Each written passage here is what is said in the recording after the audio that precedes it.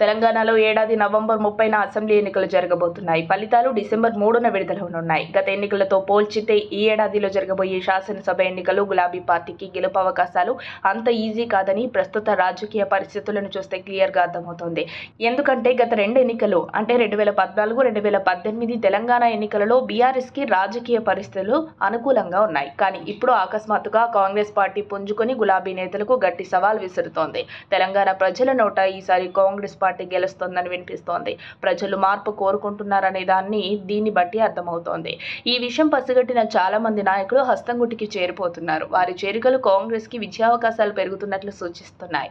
ఈ పరిస్థితులను బట్టి చూస్తే రాష్ట్రంలో ఈసారి అసెంబ్లీ ఎన్నికలు రసవత్తరంగా జరుగుతున్నాయి ఈ క్రమంలోనే ఎన్నికలకు టైం దగ్గర పడుతుండటంతో అధికార బీఆర్ఎస్ ప్రతిపక్ష కాంగ్రెస్ పార్టీలో జోరుగా వలసలు కొనసాగుతున్నాయి. బీజేపీ మాత్రం డీలా పడిపోయింది.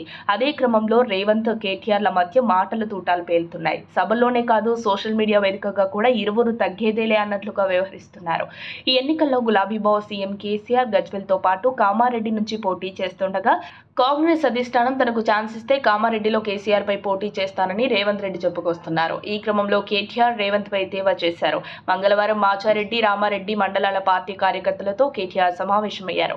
ఈ సందర్భంగా కేటీఆర్ మాట్లాడుతూ కొడంగల్లో గెలవని రేవంత్ రెడ్డి కామారెడ్డిలో గెలుస్తారా అని సెటరికల్ కమెంట్స్ చేశారు. సీఎం కేసీఆర్ పై పోటీ చేస్తానంటున్న రేవంత్ డిపాజిట్ను కామారెడ్డి ప్రజలు గల్లంతు చేస్తారు అన్నారు. కేసీఆర్ నియోజకవర్గం కామారెడ్డిలో దశాబ్దాలుగా ఉన్న సమస్యలు పరిష్కారం అవుతాయని కేటీఆర్ వెల్లడించారు.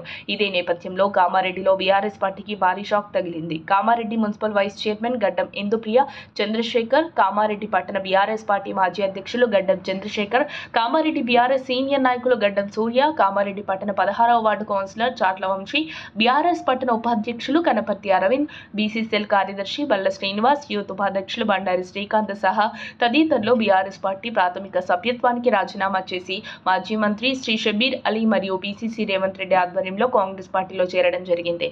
ఈ కార్యక్రమంలో జిల్లా కాంగ్రెస్ పార్టీ అధ్యక్షులు కైలాస్ శ్రీనివాస్ బ్లాక్ కాంగ్రెస్ అధ్యక్షులు గోనె శ్రీనివాస్ తదితరులు పాల్గొన్నారు. మరిన్ని అప్డేట్స్ కోసం మా కాయ్ టీవీని సబ్స్క్రైబ్ చేసుకోండి. మా వీడియో కనుక మీకు నచ్చినట్లయితే లైక్ చేయండి షేర్ చేయండి.